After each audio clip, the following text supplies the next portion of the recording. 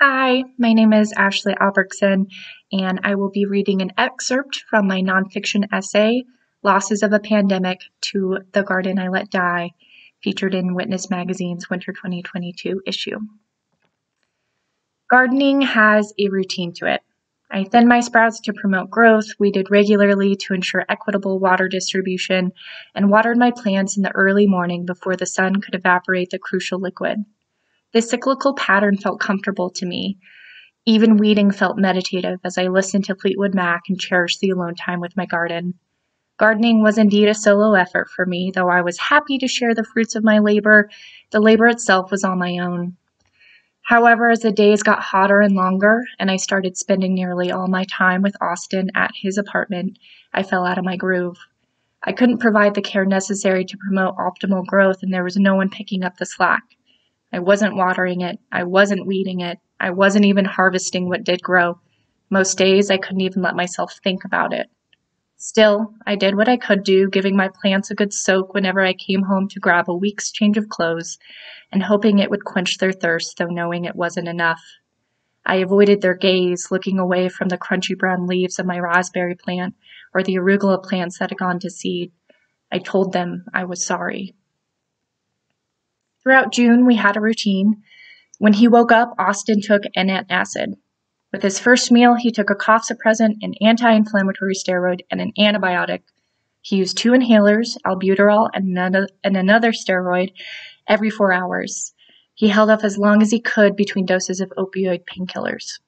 Some days, Austin genuinely seemed like he was getting better, like a plant that perks up after some water.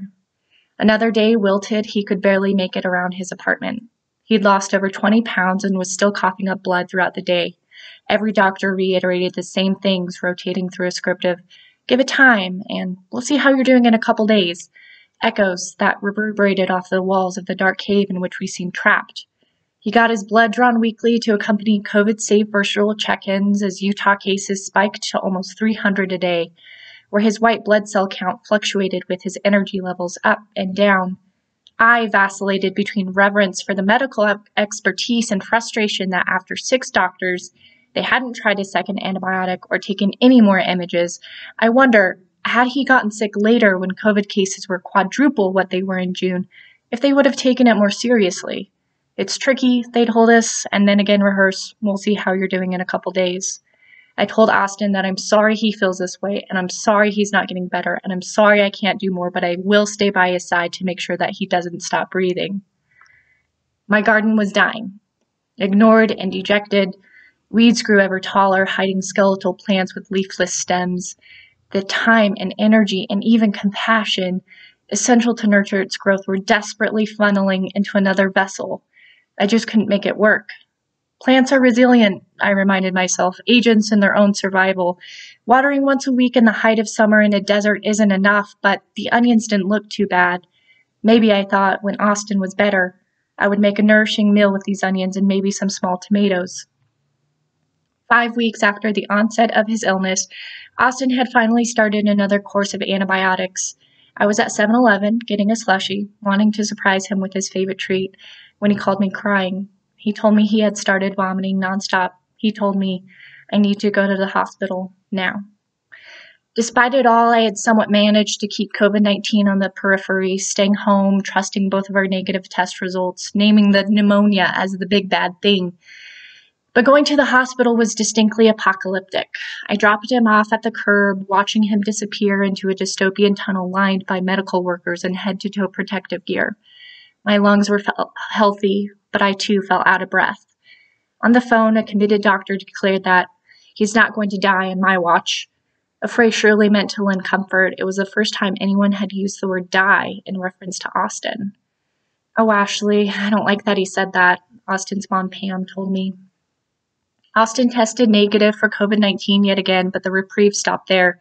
The results of his CT scan revealed not only severe pneumonia, but also extensive pleural effusion, a partially collapsed lung, and several large pulmonary embolisms in each lung, which, which could dislodge at any movement and travel straight to his heart, stopping it.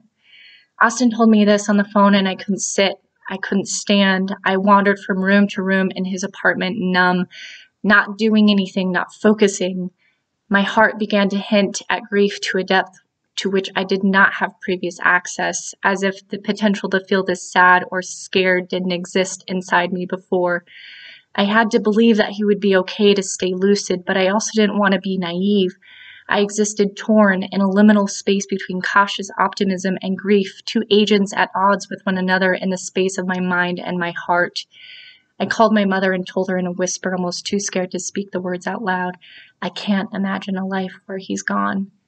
In response, my 56 year old mother risked transmission to be with me that day. For a brief moment, and per- for perhaps the first and only time that summer, I hugged my mother. At the hospital, Austin's body was inundated with substances, each fighting to give him a chance at recovery. His nose breathed pure oxygen, his veins drank fluids, antibiotics, blood thinners, and painkillers.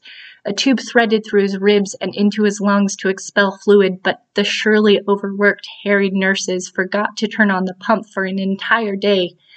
The concrete barrier of the hospital erected itself between us. After five weeks without leaving his side, the COVID 19 safety restrictions meant that I couldn't even visit him. Isolated and without comfort, Austin asked to hold the nurse's hand. They didn't know when he would be released. I felt guilt ridden when I thought of my garden dying, of the money, time, and work I spent, and the failure as a steward to support a living, respiring entity of the earth. But eventually I accepted it was past the point of my saving, so I let it die and offered a quiet goodbye. It was a personal yet palpable loss in a sea of global bereavement. The last time I saw it, it looked like it had been reclaimed by many of the invasive plants that I had previously pulled out. Perhaps they will like this spot as much as my vegetable plants did, if not more. Perhaps it was always their home after all. Thank you.